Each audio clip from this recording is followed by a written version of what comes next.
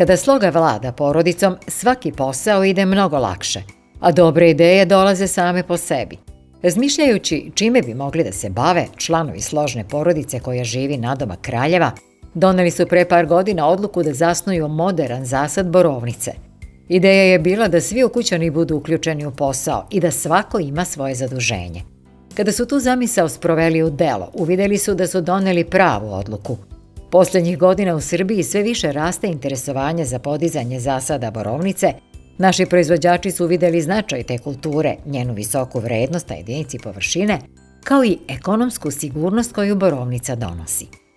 Prvi zasad smo posadili, to je ovaj zasad što se nalazi ispred nas. On je posađen e, u leto 2019. godine, znači krajem juna, početkom jula.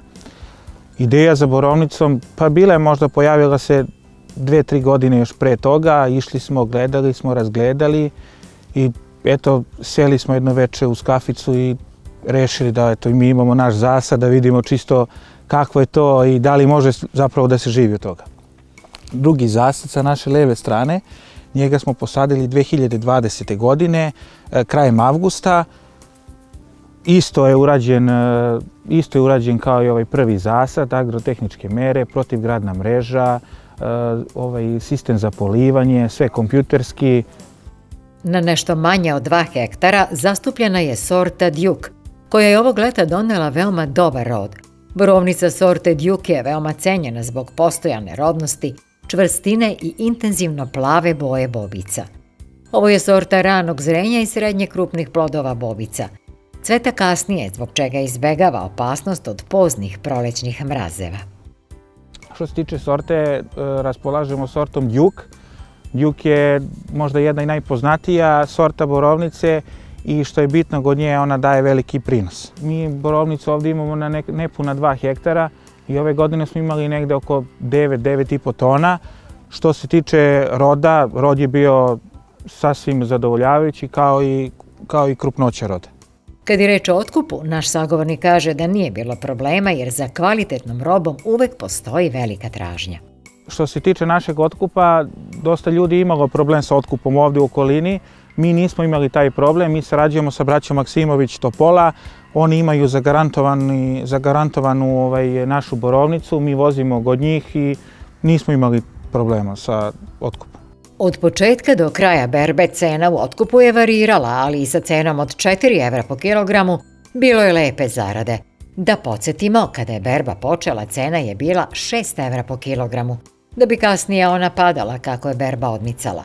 Jedna od najvažnijih agrotehničkih mera prilikom uzgoja borovnice jeste pravilna rezidba. Pravilno orezana biljka borovnice daje manje plodova, ali su oni krupni, prvoklasni i pogodni za upotrebu. Zimska rezidba je dosta, dosta bitna što se tiče same krupnoće ploda i da ne bi se slučajno pojavila neka sita jer, jer ljudi koji vrše otkup oni samo uzimaju borovnicu koja je veća 12 mm. Treba da se obrati na pažnju grane koje se ukrštaju treba da budu slobodne, da njih znači nema. Sve što krene novo iz korena treba da se ostavlja po jedna, eventualno dve grane, jer je to je rod za sljedeću godinu. Jedan deo zasada borovnice podignut je na bankovima, dok je drugi deo zasada u saksijama.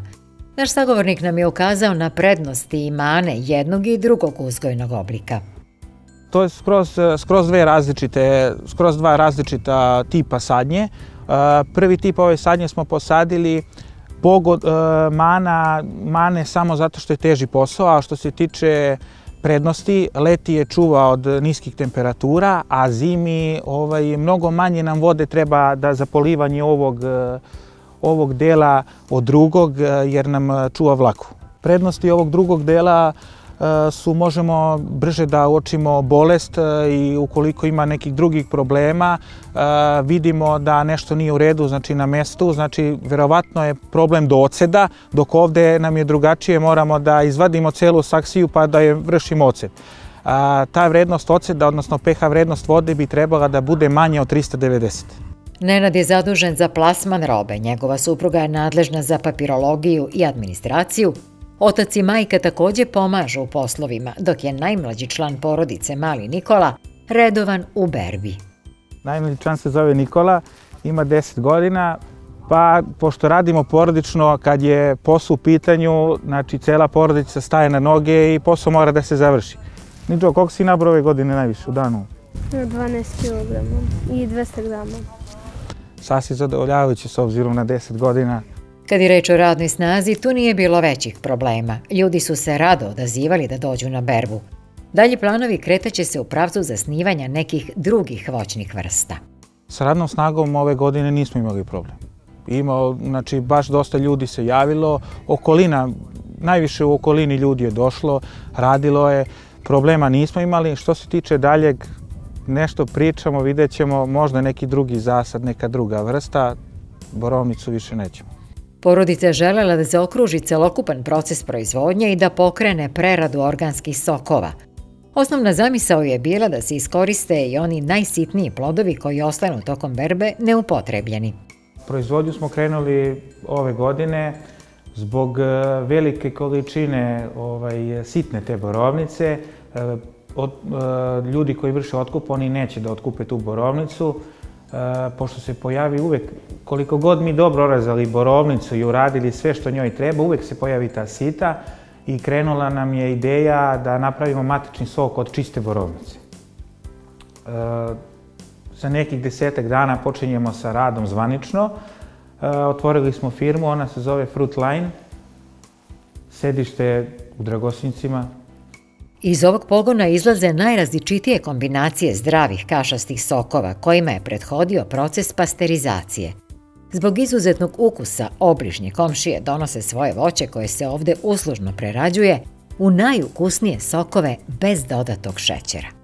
Krenuli smo sa četiri vrste, znači broj jedan je naša borovnica, kaša se stok od borovnice, e, na drugom mestu jabuka, treće mesto kruška i četvrto mesto kombinacija malina jabuka. Dosta ljudi se javilo ovaj, putem, e, putem telefona i imali smo ove godine veliki broj usluga jer ljudi hoće da im deca piju 100% zdrav sok. Najviše volim da pijem sok od jabuke, on mi je najukusniji od ovih sokovom. Naši domaćini su pravi primer kako sloga kuću gradi donoseći prosperitet u poslovnom i svim drugim aspektima života. Domaćin će svaki znati dobar savjet se isplati sa novog portala Vreba Saveti sa Agroneba. Posetite ovog trena i nestaće ta dilema. agrosaveti.rs Sajt koji nudi odgovore.